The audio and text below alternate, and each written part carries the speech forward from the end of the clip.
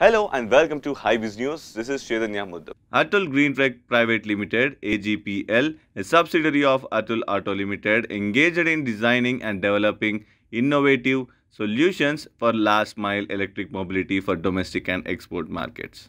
Over the last couple of years, AGPL has developed automotive grade fixed thermal battery solutions, battery management systems, and vehicle telematics solutions.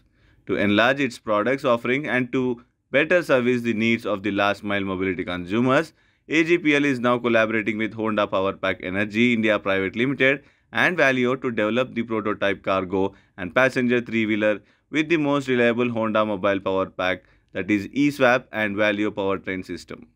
AGPL would launch this e-vehicle after successful completion of field trials. The vehicle with swapping battery will be equipped with Valeo's integrated compact electric powertrain system this world-class swappable solution from AGPL will enable our fleet and individual customers to lower the total cost of ownership and upfront capital expenditure.